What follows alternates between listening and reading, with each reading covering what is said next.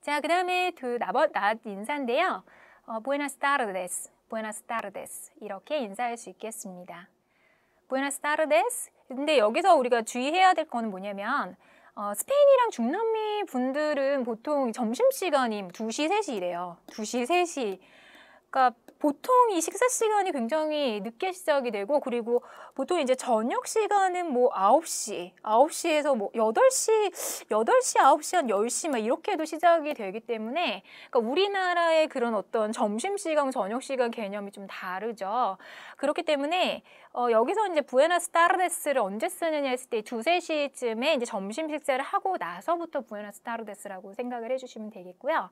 자, 계속 이어서 buenas noches, buenas noches. 좋은 저녁입니다 라는 표현도 되고 좋은 밤입니다. 근데 원래 사실 이게 지금 noche가 night이잖아요. 밤이라는 뜻이기 때문에 어떻게 보면은 good evening에 해당하는 단어 표현이 없는 거예요. 근데 아까 힌트가 뭐냐면 그러니까 아까 말씀드린 것처럼 buenas 그러니까 buenas tardes랑 buenas noches 그러니까 buenas 어떤 어떤 그 evening, 그 evening에 해당하는 말을 쓸만한 그 상황이 좀 애매한 거죠. 왜냐면 저녁 시간이 너무 늦어지기 때문에 그래서 점심을 먹고 저녁 시간 전까지를 부에나스 타르데스라고 하고 그 이후를 부에나스 노체스라고 해서 우리나라 개념으로는 저녁과 밤이 동일한 표현으로 인사를 한다라고 우리가 그렇게 생각을 해주면 되겠습니다.